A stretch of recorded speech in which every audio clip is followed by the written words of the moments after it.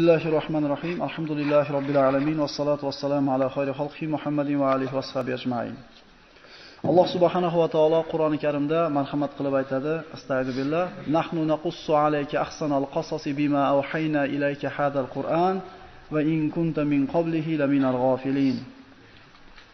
Ey Muhammad alayhisalom, albatta biz sizga mana shu Qur'onda qissalarning eng go'zallarini so'zlab beramiz vaholanki bu qissalardan siz g'ofillardan edingiz Allohning zikridan g'ofil emas balki mana shu qissalardan g'ofil edi Nahnu naqussu alayka nabahum bil haqq. U payg'ambarlarni qissalarini sizga ro'y-rost so'zlab beramiz Alloh taolo boshqa oyatda. Boshqa oyatda faqsusil qasasa la'allahum yatafakkarun. Mana shu qissalarni ularga so'zlab bering ey Muhammad alayhisalom, shoyat ular fikr yurituvchilardan bo'lsa. Mana shu yuqorida aytilgan oyatlar bu payg'ambarlarning qissalari qanchalik mohiyati kattaligini, qanchalik qadri ulug'ligini belgilab beradi. Rasululloh mana shu Rasululloh sollallohu alayhi vasallamning hayoti va qolaversa boshqa hamma o'tgan payg'ambarlarning hayoti mu'minlarga va kelajakda yetib keladigan barcha bir ummatlarga bu ibrat namuna bo'ladi. Siz bilan biz avvalgi ummatlarning holidan xabardor olish xabar olishimiz uchun ularni qilgan xatolarga tushib qolmasligimiz uchun Alloh subhanahu va taolo Qur'oni Karimda ba'zi payg'ambarlar qissalarini mufassal, ba'zilarini muxtasar bayon qildi. Aqlli odam boshqalarda xatosini ko'rib, dars olib, ana shu xatoga tushmaslikka harakat qiladi. Aqli yo'q odam o'zini qilgan xatolardan dars oladi. Alloh taolo siz bilan bizga bu payg'ambarlarning qissalarini avvalgi o'tgan qavmlarda so'zlab beryaptiki, ey Muhammad alayhisolamning ummati, avvalgi o'tgan qavmlardan o'tgan sodir bo'lgan xatolarni sizlar qilmanglar va ularning holiga sizlar tushib qolmanglar. Siz bilan bizga mana shu Qur'onda zikr qilingan payg'ambarlarning soni 25 ta. 25 ta payg'ambarning ismi zikr qilingan. Astagfirullah. Va tilka hujjatuna ataynaha Ibrohima ala qaumihi narfa'u darajatin man nasha inna robbaka hakimun alim. Alloh taolo payg'ambarlarni ba'zilarini qissalarini Qur'onda mufassal bayon qildi, ba'zilarini muxtasar bayon qildi. Va kullan naqussu alayka min anba'i rusul ma nusabbitu bihi fuadak va ja'aka fi hadhihi al-haqq va maw'iza va zikra lil mu'minin. Har bitta ishni qilishlikdan odam, har qaysi odamda ko'zlagan maqsadlari bo'ladi. Mana shu qissalarni o'rganishlikdan avvalgi maqsadlarimizni belgilab olaylik. Qissalarni o'rganishlikdan nima maqsad ko'zlanadi? Bu faqat eshitib qo'yib, ha, bir zamonlarda mana ish bo'lgan ekan, bir zamonlarda unday bo'lgan ekan deb ko'ngil xushlik uchun eshitib qoladigan qissalar emas bu. Bu hayoliy qissalar emas. Odamda hayoliga kelgan bu roman yoki qandaydir ertak hikoya emas. Bu qissalarda qadri hayotda sodir bo'lgan, voqei bo'lgan qissalar va bu qissalarda so'zlayotgan zot Alloh azza va jalla. Bu qissalardan o'rganishdan maqsad birinchisi qalblar taskin topishligi. Ana shu payg'ambarlardan sizga qissalarni so'zlab beramiz, qalbingiz tasbiki taskin topishligi uchun deyapti Alloh taolo. Demak, hayotda ba'zi bir ishlar bo'lgan paytda shuni ko'rib turib, avvalgi ummatlarning holidan xabardor bo'lsak, ha, o'sha paytda bunday bo'lgan edi, bu ham bunday bo'ladi. Qavmlar bo'lgan. Man ashadda minna quvva deyishgan. Bizdan ko'ra quvvatliroq kim bor endi deyishganda Alloh taolo avalam ya'lam annallohallazi xalaqahum huwa ashadda minhum quvva. Ular yo'qdan ularni bor qilgan Alloh ulardan quvvatliroq ekanligini esdan chiqarib qo'yishdimi? Vayron qilib tashlamadimi ot qavmini? Shu narsani takrorlamaslik uchun biz qissalardan xabardor bo'lishimiz kerak. Ba'zi birovlar birovga zo'ravonlik qilayotgan bo'lsa, bir xalq ikkinchi xalq ustida tajovuz qilayotgan bo'lsa, Od qavmini eslab qo'yamiz. Od qavmi ham pufak birodarlar, qancha ichgan sari shuncha terisi nabizlashadi, nimaga yaqin bo'ladi? Otilishlikka yaqin bo'ladi. Ya'ni aytamizki, ha bu narsani biz bilamiz deymiz. Ha bu avvalgilardan bunday bo'lgan, endi bunday bo'ladi. Ya'ni sendan burungilar sen qilgan ish qilgan edi, ularning holidan biz xabarimiz bor. Uni biz qilmaymiz. Ikkinchidan, tarix kitoblariga aralashgan botilni yo'q qilish uchun o'rganamiz bu qissalarni. Ya'ni tarix shunaqa narsa ekanki, har bitta davr, har bitta bir tuzum kelgan paytda o'zini, o'zini siyosatiga to'g'ri kelgan qilib tarixda gapirib beravergan ekan. Bir davlat bo'ldi. O'zimizni ota-bobolarimiz yurtiga bostirib kelgan bosqinchilarni, g'ayri dinlarni haydab chiqarishga kurashganlarni bosmachi dedi birodarlar. Vaholanki mata vatanini himoya qilishga chiqqan haqiqiy bir o'g'il bolalar emasmidi o'shalar? O'shpata chappecha olishani o'rganmiz, ha, bosmachi ekan o'shalar deb. Subhanalloh, o'ylab ko'rmagan ekanmiz. Ha, u o'zini yurti bo'lsa, nariga bostirib kelgan bo'lsa, bu himoya qilayotganda bosqinchi umi bumi? Lekin inson qo'li bilan yozgan tarix xolasa xolamasi orasiga botir aralashib qolishiga ehtimoldan xolmas ekan. Lekin bu qissalarda afzalligi Alloh azza va jalla Qur'onda bayon qilyapti. Inna nahnu nazzalna zikra va inna lahu lahafizun. Alloh taolay aytadi, biz bu Qur'onni o'zimiz nozil qildik va himoya qilib berishga ham o'zimizning zimmamizga deydi. Demak, bu yerda qanday qissa kelgan bo'lsa, shunday sodir bo'lgan. 100% toza birodarlar. Hech qanaqa davrga, hech qanaqa siyosatga, hech qanaqa bir odamlarni ra'yiga qarab yozilgan emas bu tarix. Uchinchidan, mavoiza, zikr mu'minlar uchun. Mu'minlar eslatma olish kerak. Qorun puldor olgan ekan. Terisiga sig'may ketgan ekan. Innama awtituhu ala ilmin indi. Men bu pullarga o'zimni ilmim bilan, o'zimni aqlim bilan, o'zimni harakatim bilan yetishdim. Nimaga zakat beraman degan ekan birodarlar. Shunda dunyo hayotini havas qilganlar qarab turib, ha bu Qorunni Qorunni zuvolasini katta olganda, qaniydi bizda ham o'shundagi narsa bo'lsa deb havas qilganda iymon keltirganlar aytdiki, "Ey, sizlarga berilgan iymonning qadri baland. Bu narsani havas qilmanglar" deb turuvdi, shunday yer yutib yubordi. Qaraymizda, ha, insonda qo'lida qancha bo'lishidan qat'iy nazar iymon bo'lsanglar, qolgan hech narsa emas ekan. Kirib ketdi. Qiyomatgacha bir qarashdan botib boradi deyiladi rivoyatlarda Qorin. Boyligi shunaqa bo'lganki, Alloh taolo boyligini dollar bilan tilla bilan o'lchagan emas. Kalit bilan o'lchagan. Biz unga shunday bir xazinalarni berdikki, xazinalari berkitilgan uylarda kalitini ko'tarib yurgani bir nechta quvvat egasi bo'lgan kishilar qiylanardi deydi. Kalitini ko'tarilgan 3-4 ta qora qullari qiylanardi, kalitni. Endi har bitta kalit bitta xona degani. Har bitta xona degani boylik degani. Lekin qayerda? Aytyapmiz-ku, Maviza va eslatma mu'minlar uchun. Boshinglar osmonga kelsa shunchalik bo'lasizlar, birodarlar. Lekin nimasini olib ketdi? Demak, bu qissalarni o'rganishdan maqsad qalbimiz taskin topishligi uchun, tarixni yaxshi o'rganishlik uchun va qalblarimiz taskin topishligi uchun. Tilka rusulu faddalna ba'dahum ala ba'd minhum man kallama Alloh va rafa'a ba'dahum darajat va atayna Isa ibn Maryam al-bayyinat va ayyadnahu bi ruhil qudus. Bu payg'ambarlar qissalarini Alloh subhanahu va bilan bizga bayon qiladi. Birini ikkinchisidan mufazzal qildik. Ba'zi payg'ambarlarga Alloh taolo so'zladi. Ba'zisini darajasini ko'tardi, ba'zisini otasiz yaratdi, ba'zisini otasiz ham, onasiz ham yaratdi. Toki otasi Jaralga Iso alayhisalomni Xudo o'g'li deyishmasin. Chunki onasi bor edi Iso alayhisalomda. Ha Odam alayhisalomning ishi bundan kattaroq emasmidi? Otasi ham, onasi ham yo'q edi-yu. Otasi Jaralsalar Xudo o'g'li deysizlarmi? Odamga qaramaysizlarmi deyapti Alloh taolo. Valaqad arsalna rusulan min qablika minhum man qasasna alayk va minhum man lam naqsus alayk. Dar haqiqat Ey Muhammad alayhisalom, sizdan avval ham biz payg'ambarlarni yuborganmiz. Ba'zilarini sizga so'zladik Qur'onda, ba'zilarini so'zlamadik. لقد كان في قصصهم عبرة لأولي الألباب ما كان حديثا يفترى ولكن تصديق الذي بين يديه وتفصيل كل شيء وهدى ورحمة لقوم يؤمنون Mana shu payg'ambarlarning qissalarida dedi Alloh azza va jalla aql egalari uchun ibrat bor, namuna bor. Birodarlar qaraylik, bu payg'ambarlarning hayotida poshsholari bor. Agar poshsho bo'lsak, ibrat olaylik. Boylari bor. Ibrat olaylik. Chiroylilari bor. Ibrat olaylik. Ha bir odam chiroyli bo'lsa, xaridori ko'p bo'lib yurgan bo'lsa, haligi shu chiroyini bahona qilib ibodatdan qoldim deya olmas ekan. Yusuf alayhisolamda chiroyi butun mahluqot chiroyiga barobar edi.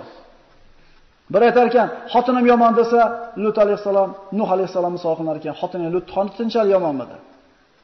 Bir odam kasalidin desa, Ayyub alayhisalom sog'inar ekan. Bir odam kambag'alchilik qursin, shu kambag'alchilik bilan bo'lib bola chaqa yaxshi qolmagan ekanman, ibodat qolmagan bo'lsa, Iso ochalik, Iso alayhisalomning yaxtagidan boshqa hech narsasi bo'lmagan ekan hayotda. Iso Masih deyilishiga birinchi rivoyatda onasi tug'ilganda yog' bilan mast qilgani shuning uchun Masih deyiladilarki, ikkinchisida sayohat qilib yuradi. Yer yuzida vatani yo'q edi, uyi bo'lmagan ekan birodar Iso alayhisalomda. Uyi bo'lmagan ekan. Payg'ambarlarni qarasangiz, albatta sizga, ayni sizga mos keladigan bitta payg'ambarning bir hayoti bor. yoki sahobalardagi bor. Bittasini poshsholigi Allohning ibodatdan to'smadi, bittasini gadayligi Allohning ibodatini to'smadi. Bittasini bolasini kofirligi, bittasini xotinini kofirligi Allohning ibodatini to'smadi. Yer yuzida yashayotgan odamlarda eng afzali kimlar? Payg'ambarlar. Rasululloh sollallohu alayhi vasallam hadislarda aytadi, payg'ambarlardan keyin yer yuzini bosgan odamni eng afzali bu Abu Bakr Siddiq. O'shunda ham Abu Bakr Siddiq odamlarni eng afzali bo'lishi bilan payg'ambarlar darajasiga ko'tarila olmaydi. Payg'ambarlar birodarlar, bu hidoyat chiroqlari.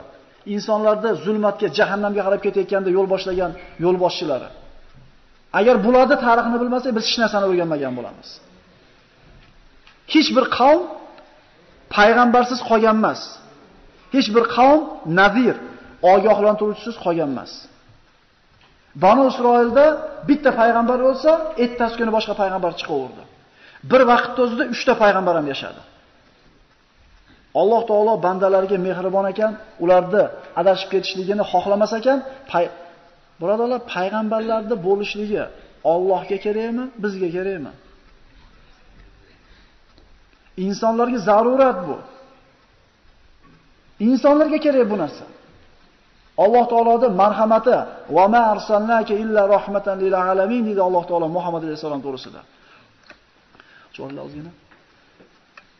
Ey Muhammad alayhisalom, biz sizni yer yuziga insonlarga rahmat qilib yubordik deydi. Ya'ni bizni rahmimiz kelganligidan sizni yubordik. Odamlar jahannamdan o'zlarini saqlab qolishsin va Alloh taoloning foydasiga hujjat qoyim bo'ldi. Inna kunna an hada g'afilin. Inna kunna an hada g'afilin. Qiyomat kuni borganda odamlar, "E, payg'ambarlar bormidi? E, jannat, do'zax degan narsa bor. Biz eshitmagan ekanmiz bu narsani." demasliklari uchun Alloh azza va jalla payg'ambarlar yubordi yoki nazir ogohlantiruvchilarni yubordi. Har bitta qavmda albatta jannat, do'zax borligini xabarini aytgan ogohlantiruvchi o'tgan. Hech kim Alloh oldiga borganda bahona yoki hujjat qila olmaydi. Wa ma min ummatin illa khala fiha nazir. Har bir ummat o'tgan, magar ichida ogohlantiruvchi bo'lgan. Bu qissalarda afzalligi, birodar qissa kirishganimiz yo'q hali. Bu taqdimoti bu. Nimani o'rgan ekanimizni bilib qo'yaylik, nimani eshitayotganligimizni bilib qo'yaylik. Bu hayoliy emas bu qissalar. Alloh azza va jalla yozyapti bu qissani. Alloh azza va jalla bizga bayon qilyapti. Demak, birorta oldidan ham, ortidan ham botil kelmaydi. Avvalgi ummatlarning holiga tushib qolmasligimiz uchun ularni holidan ibrat olishimiz uchun bu suralar, bu qissalar bizga bayon qildi. Bu qissalar insoniyat tarixining umurtqasi. Hamma tarix shunga osiladi. Yer yuzida insoniyatni hayotiga qattiq ta'sir o'tkazgan qo'mondonlar, podshohlar, boyvachchalar, shunaqa insonlar o'tgan. Lekin bularda hech qaysisini ta'siri payg'ambarlarning insonlarga ko'rsatgan ta'sirchalik bo'lmaydi tarixiga. Agar biz payg'ambarlar tarixini bilmas ekanmiz, Qur'onni juda katta qismidan bexabar qolgan bo'lamiz. Deyarli 3 dan birida qo'yavering, Alloh alam. Bitta Banu Isroil qissasi Qur'onda 70 o'rinda zikr qilingan. 70 ta oyatda emas. 70 o'rin. Ya'ni 4 ta oyat bitta o'rin bo'lishi mumkin. 20 ta oyat bitta o'rin. Shunaqa o'rindan 70 marta kelgan. Nimaga? Nimaga Alloh taolo Musa alayhisalom qissasini eng katta qissa qilib bayon qildi? Banu Isroilni kimligini bilib olinglar deyapti Alloh azza va jalla. Sizlarni va meni dushmanim deyapti. O'zlarini qavmidan bo'lgan, o'zini millatidan bo'lgan, yahudi bo'lgan Musa alayhisalom Fir'avnni so'yib, xor qilib turgan joyida yahudiylarda olib chiqib ketib, 20 ta yaqin mo'jiza ko'rsatdi. Nima muomala qilishdi? Xorlikdan olib chiqib ketgan Musa payg'ambarga qilgan muomalasini ko'rgandan keyin, "Ey musulmonlar, ko'zinglarni ochinglar. Bu hech qachon sizlarga el bo'lmaydi bu xalq. Bular sizlarni va meni dushmanim" deyapti. 30 yil qo'shningiz bo'ladi. 100 yil qo'shningiz bo'ladi, lekin yahudiyligicha qoladi u. G'oyril mag'zubi alayhim valaddolin. Seni g'azabingga uchramagan va adashmaganlarni yo'li bo'lgan to'g'ri yo'lini bergin deyotganda, mana shu qissalardan xabardor bo'lishimiz kerak. Nimaga endi Yahudi, nimaga endi yomon ko'rishimiz kerak? Nimaga bizni dushmanimiz deyapti Alloh? Eshitaylik birodarlar.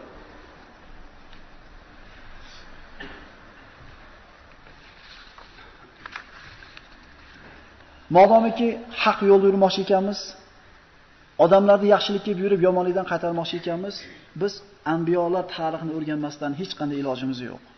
Chunki u kishilar da'vatchilarning ustozlari bo'lgan. Shunday emasmi? Agar bir odam bir odamni haqqa da'vat qilmoqchi bo'lsa, kimdandir o'rganish kerak. Ha? Bir ursa nima qilishim kerak? Gapimni olmasa nima qilish kerak? So'ksa nima qilish kerak? Jirillab tashlab chiqib ketish kerakmi? Yunus alayhisalom qavmini ha, bora deb chiqib ketib qoldi nima oldi? Balig'i yutib yubordimi? Ha, demak Alloh yo'lida yetayotgan mashaqqatga nima qilish kerak ekan? Chunki buni mukofotini Alloh azza va jalla beradi. Hech qaysi payg'ambarda oyog'ini taylarga gullarda chachib, gulchambarlar bilan kutishib olmagan ekan, keling deb. Demak, haqqa gapirganda so'kish eshitasiz, haqqa gapirgan chaqirganingizda har xil nomlarni olasiz. Bunga nima qilish kerak? Sabr qilish kerakligini qachon o'rganamiz ekan? Payg'ambarlar tarixini o'rganganimizdan keyin. Mana bu qissalarda Isroiliyot olinmadi. Ana shu qissani yozgan tarjima kishi mana Toriq Muhammad Suvadon aytadi, men mana shu qissalarni tayyorlashlikda Isroiliyot va zaif hadislarga e'tibor qaratmadim. Hadislarda faqat sahihlarni oldim. Hadislarda Ibn Abbosga, Ibn Kasir va Ibn Jarga tafsirlarda tayanaman. Ya'ni aytilayotgan Isroiliyot degani birodarlar, Tavrot va Injildan avvalgi payg'ambarlar haqida aytilingan ma'lumotlar olingan bo'lsa, shu Isroiliyot, Isroiliy kitoblardan olingan ma'lumot deyiladi. Isroiliyot. Rasululloh sollallohu alayhi vasallam aytgan: "La tusaddiquha va la tukazzibuha." Ana shu Tavrot va Injilda payg'ambarlar haqida aytilingan ma'lumotlarni yolg'on ham demanglar, rost ham demanglar. Chunki rost bo'lgan joyi ham bor, botil aralashib ketgan joyi ham bor. Biz tasdiqlamaymiz, inkor ham qilmaymiz. Lekin bu qissalarda usrolar keltirilgan emas. Agar keltirilgan bo'lsa aytib qo'yilgan. Ya'ni sahih ma'lumotlardan deyarli ma'lumot topolmadim, lekin Isroiliyatda mana bunday deyilgan deb qo'yiladi. Qissani boshlaymiz, birodarlar. Qissani avvalidan boshlaymiz. Hali Odam alayhisalom yaralmasdan turib bo'lgan ishlar haqida gaplashamiz. Bismillahirrohmanirrohim. Xoliqu kulli shay'in va huwa ala kulli shay'in vakil. خلق السماوات والأرض وما بينهما في ستة أيام ثم استوى على العرش. يعلم ما يلج في الأرض وما يخرج فيها وما ينزل من السماء وما يعرج فيها. وهو معكم أينما كنتم والله بما تعملون بصير. وهو الذي خلق السماوات والأرض في ستة أيام وكان عرشه على الماء. Alloh azza va jalla har bitta narsani yaratuvchi bo'lgan zotdir. Va har bitta ishga Alloh vakildir. Osmonlar, yerlarni 6 kunda yaratdi va Allohning arshi suvni ustida edi. Birinchi bo'lib nima yaralgan degan savolga ulamolar quyidagi tartibda javob berishadi.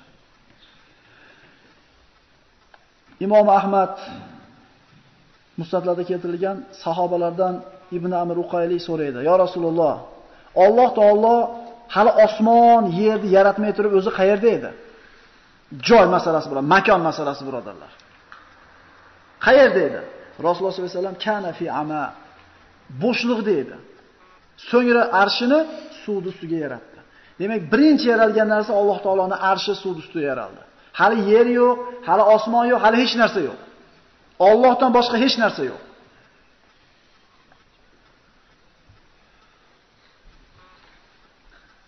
Imom Ahmad, Abu Dovud, Termiziy musnadlarda keltirilgan Uboda ibn Somat roziyallohu anhu dan Rasululloh aytadi, Alloh taolo yaratgan narsalarning eng birinchisi qalam dedi. Ya'ni yuqoridagi hadisda birinchi arsh deyildi. Bu hadisda qalam deyilyapti. Alloh azza va jalla qalamni yaratdi va unga yoz dedi. Qalam nimani yozaman dedi. Mana shu koinotda sodir bo'ladigan har bitta narsani yoz dedi. Vajaral qalamu fi tilka Ana shu lahzada boshlab koinotda sodir bo'ladigan har bitta katta ishni, kichik ishni qalam nima qildi? Rizqinglarni ham yozib qo'ydi shu yerda. Hali osmon yo'q, hali yer yo'q, inson yo'q, jin yo'q, hali hech narsa yo'q. Alloh taolo yozib qo'ydi hamma yo'q. Imom Muslimda keltirilgan qaysi bir narsa eng birinchi bo'lib yaraldi degan savolga jumhur ulamolarning fikriga ko'ra Abdulloh ibn Abbosni va Abdulloh ibn Amr ibn Osni quyidagi hadisi hujjat bo'ladi deydi. Alloh taolo mahluqotlarni taqdirini osmon yerni yaratishdan 50 ming yil avval yozib qo'ydi va uning arshi suv ustida edi degan hadisni hujjat qilishadi. Demak, arsh bo'lgan suv ustida, keyin qalam yaratilgan, qalam yozgandan 50 ming yildan keyin boshqa mahluqotlar nima qildi? Yaratildi. Demak, arsh, qalam va hayvon va mahluqotlar. Eng birinchi narsa qalam yaratildi deganda bu bizni dunyoyimizga taalluqli narsalardan qalam yaratildi. Chunki qalamni biz tasavvur qila olmaymiz qalamni birodarlar. Lekin uning kayfiyati qanaqa bo'lishini Alloh azza va jalla o'zi biladi. Imom Buxoriyda keltirilgan Ibn Imron ibn Husayndan Yamandan bir to'p odamlar kelib Rasulullohdan: "Ey Rasululloh, sizni oldingizga dinni yaxshiroq o'rgangani keldik. Yaralishning avvalida nima bo'lgan edi? Mana shu narsa haqida so'ragani keldik" dedi. Rasululloh sollallohu alayhi vasallam aytdi: "Eng avval Alloh bor edi. Undan avval hech kim bo'lgan emas. Uning arshi suv ustida edi va barcha narsani zikrda, ya'ni Lavhul Mahfuzda yozdi va osmonni yerni yaratdi." deb bergan javobi bizga hujjat bo'ladi. Demak, arsh, qalam, Lavhul Mahfuz va osmon yer undan keyingi mahluqotlar. Bidoyatul xalq mahluqotlarning yaralish haqidagi ulamolar aytgan so'zi mana shunga asoslanadi. Yetadimi? Yarim soat bo'lib qoldi-da. Odam alayhissalom yarashigacha gapirib qo'yamiz ekan bo'lmasa. Mana osmoni, yer va boshqa mahluqotlar yaralishi. Imom Ahmad, Imom Muslim da rivoyat qilingan hadis Abu Hurayra roziyallohu anhu aytadi, Rasululloh sollallohu alayhi vasallam dedi, meni qo'limni ushlab turib dedi. Alloh tuproqni shanba kuni yaratdi. Tog'larni bozor kuni yaratdi. Daraxtlarni dushanba kuni yaratdi. Kasallik va insonga yoqmaydigan narsalarni seshanba kuni yaratdi. Nurni chorshanba kuni, hayvonlarni payshanba kuni va odamni juma kunini asrdan keyingi vaqtida yaratdi. Shuning uchun juma kuni birodarlar muborak kun. Mana shu bizni dunyoyimizda yaralgan mahluqotlarning eng oxirgisi Odam alayhissalom bo'ldi. Odam alayhissalom asr bilan ana shu shom yoki asr bilan tun orasidagi vaqt yaratildi. Takadu as-samawati yatafattarna min fawqihinna wal malaikatu yusabbihuna bihamdi rabbihim va yastaghfiruna liman fil ard ala inna Alloha huval ghafurur rahim. Odam alayhissalom yaralishidan burun farishtalar bo'lgan, jinlar bo'lgan. Mana farishtalarni Alloh taolo juda ko'p oyatlarda nurdan yaratganligini bizga bayon qiladi. Va xalaqal janna min marji min nar. Jinlarni esa o'tdan yaratganligini bayon qiladi. Demak, rivoyatlarda keladi, mana hadislarda jinlar Odam alayhisalomdan 2000 yil, yaralishidan 2000 yil avval yer yuzida mavjud bo'lgan. Va xaloqtani minnar degan iblis. Ey iblis, nimaga odamga sajda qilishlikdan bosh torting deganda, uni turpoqdan yaratding, meni o'tdan yaratding dedi. Ana shu bir eslik so'ragan ekan bir olimdan. Jahannamda o't bilan azoblar ekan Alloh, shundaymi? Ha, shunday. Ha, jin o'tdan yaralgan bo'lsa, qana qilib uni o'tga solib, o'tni o't bilan azoblaydi? Deganda, hali olim juda chiroyli javob berayotgan ekanki, insonni nimadan yaratgan? Turpoqdan. Sen nimadan yaralgansan? Turpoqdan. Yerdan guvalaydi olgan ekan. Mana nimadan yaralgan? Turpoqdan. Boshiga burib qonini chiqarib qo'yib turib, mana qilib azoblaydi degan ekan. Ya'ni jinni qana qilib azoblashiga sizni tashvishingiz bo'lmay qo'yaversin. Parvardigor o'zi biladi qanaqa qilib azoblashligini. Yana bittasi so'ragan ekan, ha aroq nima uchun harom? Axir uzumdan, boshqa narsadan, tabiiy halol narsalardan olingan bo'lsa, nimasi harom deganda aytgan ekanki, olim bir siqim turpoqni olib turib betingizga chassam, ozor chekasizmi? Ha, yo'q. Ha, bir siqim suvni olib turib betingizga chassam, ozor chekasizmi? Yo'q. Ha, endi o'sha turpoqni suvga aralashtirib, yaxshilab pishirib, quritib turib basharangizga ursa nima bo'lasiz deganda qonaydi degan ekan. Uzum, olma harom emas. Ana shu protsess akalar. O'sha jarayon harom qilib qo'yapti u narsani. Demak, birodarlar, nimaga harom deb o'zi asli musulmon so'ramaydi. Biz aqidamizga to'g'ri kelmaydi. Alloh harom dedimi? Gap tamom. Lekin bunaqa aqllilar chiqib qoladigan bo'lsa, islomda hamma yo'qqa javob bor. Faqat biz bilmaganligimiz uchun so'rayapmiz bu narsalarni. Boshimizga guvola yeb qolishdan burun tavba qilaylik. Alloh taolo mana iblisni jinlardan ekanligini aytadi. Hasan Basriy aytadi, iblis hech qachon farishta bo'lgan emas. Jannatda qanday bo'lib qolgan? Qanday qilib jannatga kirib qolgan edi hali? Mana Ibn Umar Ibn Abboslardan keltirilgan hadisda aytilinadi, jinlar odamdan 2000 avval yer yuzida yashaganlar. Mana shu yerda jinlar yashagan birodarlar. Bu sahih hadisda keltirilgan. Yer yuzida buzg'unchilikni haddidan oshirishgan. Nohaq qonlar to'kkan, gunohni ko'p qilganlarida Alloh azza va jalla farishtalardan iborat qo'shinni tushirdi. Jinlar va farishtalar o'rtasida jang bo'ldi. Farishtalar jinlarni yakson qilib, dengizlarga, okeanlarga, orollarga surib tashladi. Jinlarning yashaydigan joylari ham ana shu dengiz va okeandagi orollar birodarlar. Sahih hadislarda keladi, iblisni suvni ustida arshi bor dedi Rasululloh. Ana shu suvdan turib, okeandan, dengizdan turib qo'shinini yer yuziga jo'natib turadi deyiladi. Iblis ana shu jinlarning yer yuzidagi podshohi, uni taxti suvni ustida ashaddan odamlar ustiga yuborishligini qo'shinlari qo'shin yuborish haqidagi ma'lumotlar bor. Yuqorida aytilgan ma'lumotlar Odam alayhisalom yaralgunga qadar bo'lgan ishlar.